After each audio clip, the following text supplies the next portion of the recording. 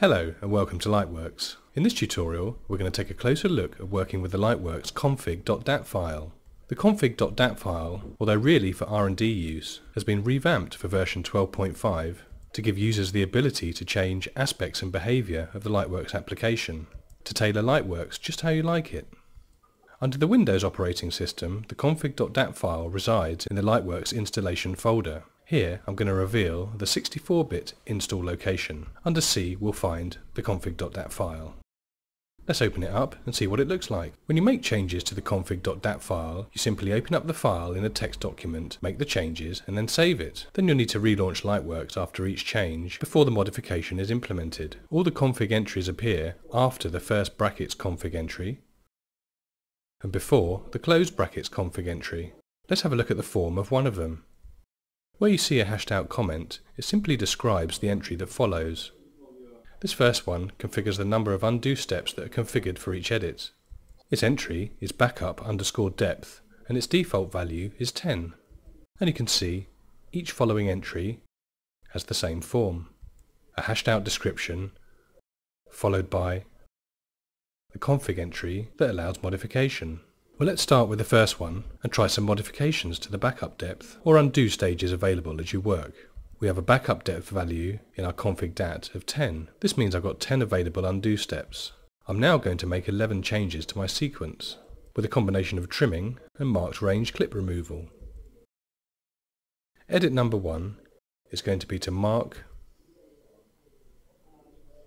and park this first region here containing the orange shot at the beginning.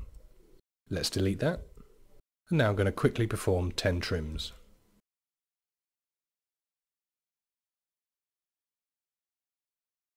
Okay, so that's done. If I go back through the undo steps 10 times,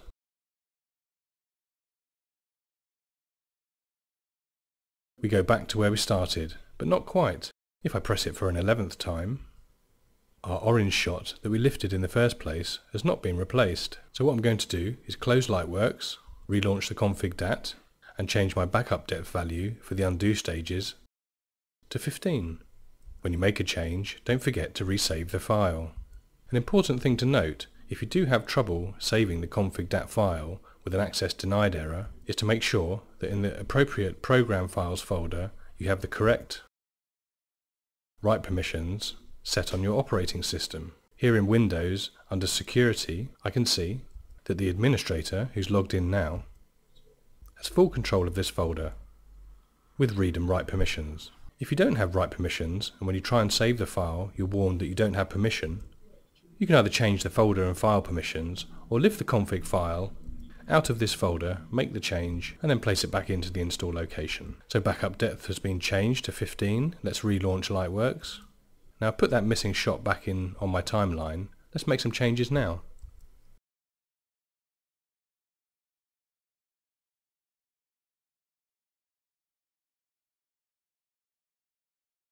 Stepping back.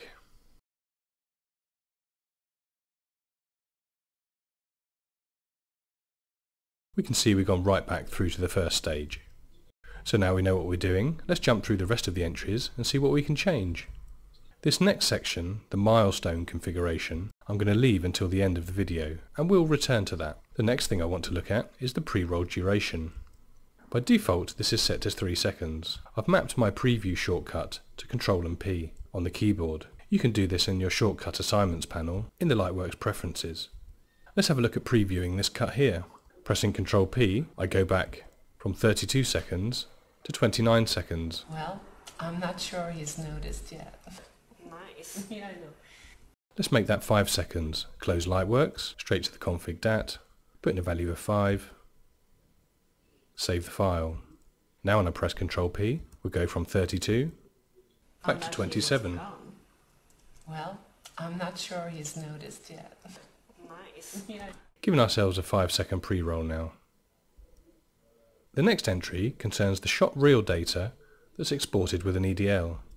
By default, Lightworks exports your reel data into an EDL with an 8 character limit. But sometimes reel IDs contain more than 8 characters. Let's have a look at the reel data on all of these shots. In list view, my reel number for all the shots in the edit is 1234567889 001. If I quickly export a standard EDL to the desktop, we can see that this column here, where the reel information is kept in the EDL, has been truncated 6789-001. I need to make sure that I get all my reel information into this file. Closing Lightworks, let's modify the config, set the value to 0 to lift the 8 character limitation. Now repeating that export process. Now my reel field is populated with the full amount of characters. The next entry, trim avoid silence, refers to how you monitor audio while you're trimming with Lightworks. By default, when you trim a cut with two moving sides, Lightworks will always monitor the audio from the side closest to the current time indicator on your edit. If this is placed near the side with silence, you can end up listening to silence as you trim. To automatically monitor the non-silent side, we need to set the value to 1. Let's have a look at that. So I'm going to trim this cut over here with a cut point trim. Now if my cursor was here and I press play, we'll snap to monitoring the incoming silent section that you see in black. No audio. Straight back to the config file. Change the value to avoid the silent monitoring to 1. Trim again will monitor the outgoing side of the yellow shot you see. Back to the cut point trim. Hit play. Indeed, it is. What's the fun? We can now monitor the outgoing audio and avoid that silence. The next entry tells Lightworks how to handle tiles when popping out from viewers. By default, popped out tiles are revealed in the Content Manager. If I pop out the tile from this viewer, it's revealed automatically in the Content Manager. In the Recent Filter section, you may prefer the legacy behavior of Lightworks, where the tile is ejected from the viewer and placed on the Lightworks desktop. To change that behavior, simply change Reveal Tiles in Bins to zero. Now if we pop out the tile from the viewer, is placed on the Lightworks desktop. The next entry concerns the colouring of the audio waveforms. In Lightworks, we have our audio waveform displayed in this contrasting grey colour on the segments. If you want to make that darker, closer to black, or lighter, closer to white, you can change the value. I'm going to set my value to zero. Now my audio waveforms are fully black, making them much more prominent. On the other side of the scale, let's try and set them to white. Setting a value of 2 will make them white. And there you go. The next entry refers to the area of a segment that's active when you pick it up for drag and drop operations. When you pick up a segment on the timeline to drag and drop it elsewhere, Lightworks divides the segment into three areas. On the left and the right, you'll see the trim rollers appear on the mouse head. In the central third, you'll see the black arrows left and right. It's only in this central region that you can pick up a clip and move it to drag and drop it.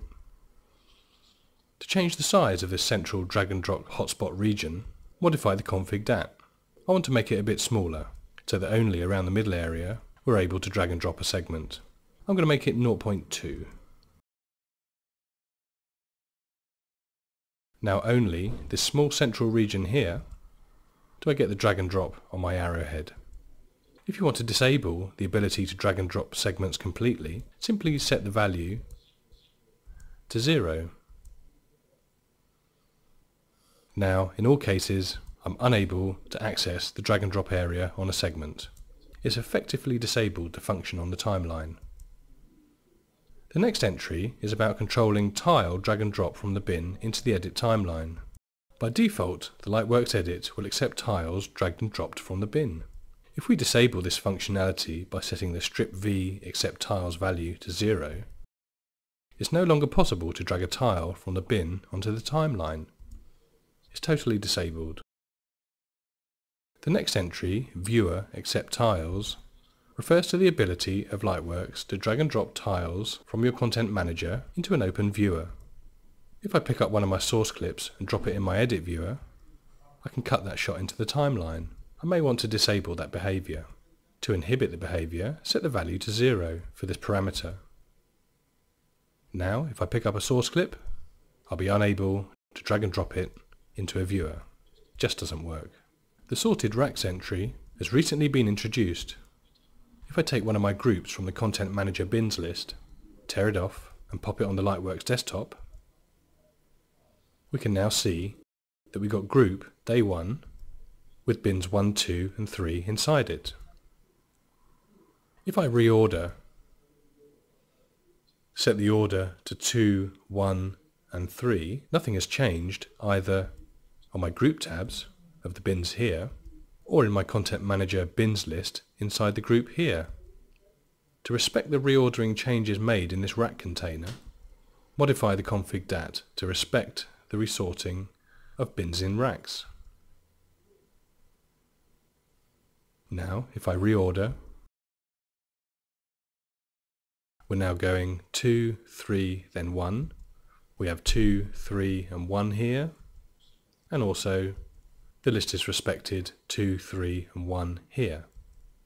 Let's quickly do one more. 2, 1, 3, 2, 1, 3. Now at the end, you'll see additional entries of your own can be added here. Now you know how to add them, let's add a new one.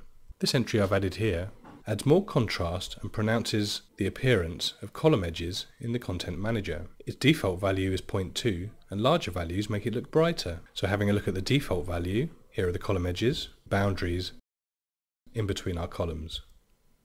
Let's change the value to 0.5. Now I can see the columns have become more pronounced. Let's increase that a bit further to a value of 1. And now those column edges are much more pronounced. There was one entry we missed out at the beginning and I said I'd return to it. That's this section here, the milestone configuration for your edit files.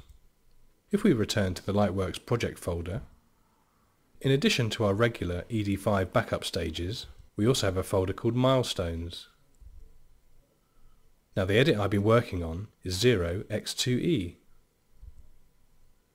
Inside this folder are the milestones that have been created while I've been working on this edit. Milestone backups for the edit are created after 10 edit operations, or mods. You don't have to save anything in Lightworks, as every change or modification is saved automatically. This includes moving panels, viewers, and so on. Lightworks also backs up anything else you delete. So if you delete a clip or a subclip or an edit, it's saved automatically in the milestones folder and any mistakes that you make can be undone. By default, we store 10 milestones per edit. The milestones are numbered from 0 through 9, but are not necessarily in chronological order. So if we hit Date Modified, I can see the timing of each of these milestones that the system's been making. Remember, each milestone stage represents 10 modifications. And that's what the final config entry here represents. It represents the amount of milestones that are stored for each individual edit, default is 10, and the amount of modifications that can be made in each milestone. So you can change this value to add more milestone stages for each edit in your milestones folder and allow more modifications between saving each milestone. Well, we hope you've enjoyed the video learning about how to modify the config.dat file and that now you're further able to set up Lightworks just how you like it. Thanks for watching.